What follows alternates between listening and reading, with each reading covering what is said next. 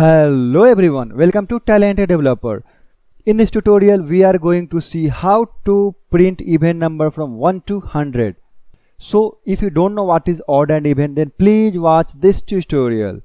So basically, what is even number? Any number. Suppose your input is 2. If you are going to divide by 2, what will be happen? You will get remainder as a 0. That means it is a even number but if you take input as a 3 and if you're going to divide it by 2 you will always get 1 as a remainder. That means it is not even number it is called odd number.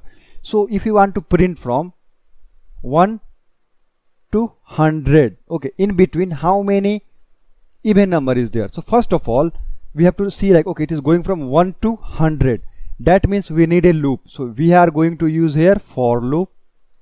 So we have to start from what? I as a 1 then we have to go till where i less than equal to 100 correct? Now what is happening?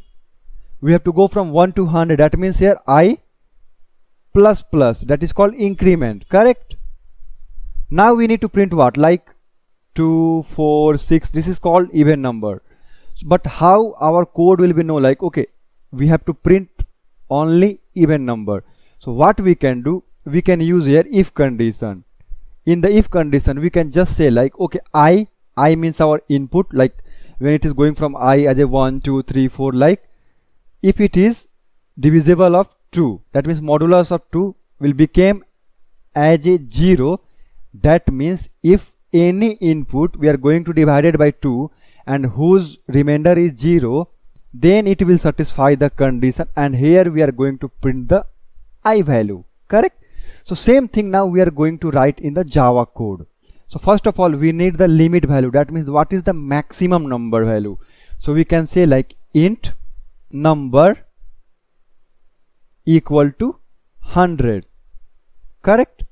Now we have to go from what 1 to 100. So we are going to use here for loop. Here we have to start from int i as a 1 then i will be less than equal to number like what is the your input? So here you can see i am using a static number as a hundred value. You can use a scanner class and you can ask from the user input also. And it will be increment order correct? Now what will be happen? Just use system.out.println and here try to print only i value.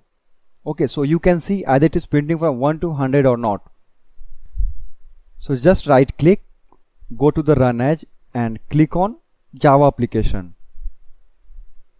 Now you can see right, it is printing perfectly till 100. Now what we need to do? We need to use our if condition. So using the if condition, we can identify, okay, it is odd number or even number. So we can say like if i is a modulus of 2 equal to 0 that means what is the input we are going to get?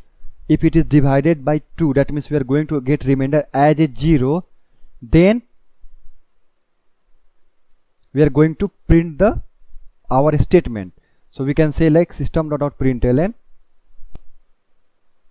and here we are going to print just i value. Okay? So now run.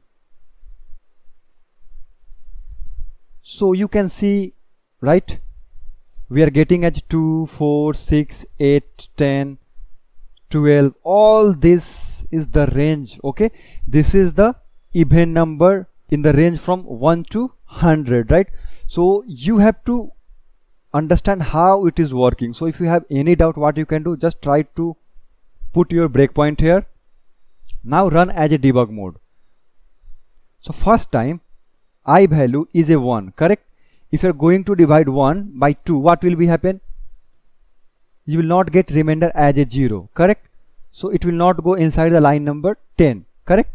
Now what will be happen? Once it is not satisfy this condition then again it will go as a i plus plus. That means now i value is what? 2 correct? So now 2 is going to divide by 2 only. So what will be happen? Remainder you will get as a 0 correct so now it is going to satisfy this condition. So if it will satisfy that means i value you are going to get as a what? 2 correct? So it will print in the console as a 2 correct?